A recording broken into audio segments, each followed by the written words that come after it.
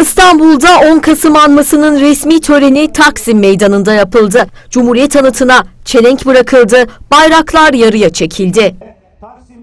Törene İstanbul Valisi Vasip Şahin, Büyükşehir Belediye Başkanı Kadir Topbaş, 1. Ordu Komutanı Orgeneral Musa Arsever, AKP, CHP, MHP, Vatan Partisi ve meslek örgütü temsilcileri katıldı. Törenin yapıldığı sırada Taksim'de hayat durdu.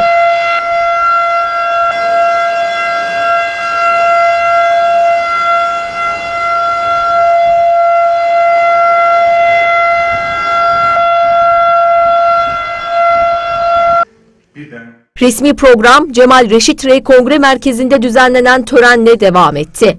1. Ordu Komutanlığı'nda görevli öğretmen Albay Erhan Altınok, içimizdeki biri Mustafa Kemal Atatürk konulu bir sunum yaptı. Hayrice Neşeli. Selahattin Pınar'ın Gel Git ve Kadın şarkısı çalmaya başlıyor. sanki. Daha sonra valilik tarafından düzenlenen kompozisyon, şiir ve resim yarışmalarında dereceye giren ilkokul öğrencilerine ödülleri verildi.